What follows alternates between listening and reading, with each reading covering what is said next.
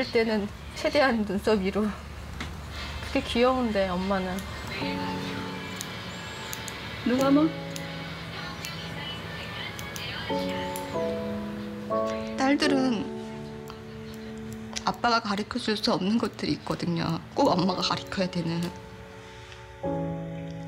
진짜 여자가 되기 위한 과정도 겪어야 되는데 그건 아빠가 모르잖아요. 저는 작은 딸이 작은 딸, 큰 딸 모두 다 예쁜 여자로 이렇게 성인이 될 때까지 반드시 제가 다 가르칠 거예요. 작은 애 내년에 학교 들어가는 것도 꼭 봐야 되고 큰애 중학교 교복 입을 때 처음으로 교복 입는데 얼마나 불편하고 다림질도 해줘야 되고 할 게 너무 많고 대학교 원서 쓰는 것도 도와줘야 되고 남자친구 상담도 같이 내가 해줘야지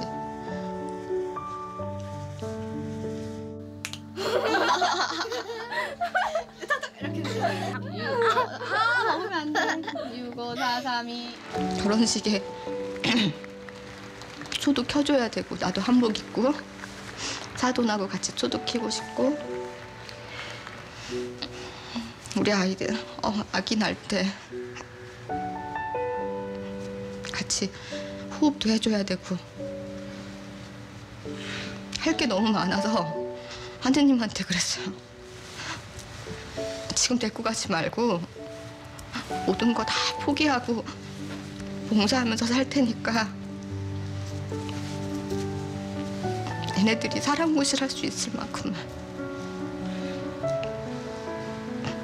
그때까지만 돈 안 벌어도 좋고 못 벌어도 좋고 장로를 하든 인공 방광을 하든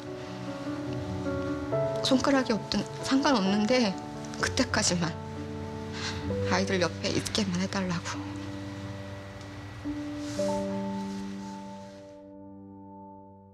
왜 안 만져주고 물어보잖아요. 그치. 너뭐 먹을 수 어, 있어? 너무- 내가 맞아. 다 먹어. 그러면 아니 안 친구들. 만나면. 그리고 너무 건강한 것들만 사와. 네, 한정식 시키고 친구들 만나면 나 이런 거 안 먹어도 된다고. 저는 이번에 결과가 너무 많이 좋지 않아서 사실은 여러 가지 생각은 하고 있는데요. 음, 아이와 함께 끝까지 남은 시간, 저에게 주어진 시간을 행복하게 보내야겠다라고 생각하고 그런 마음으로 하루하루를 살고 있어요.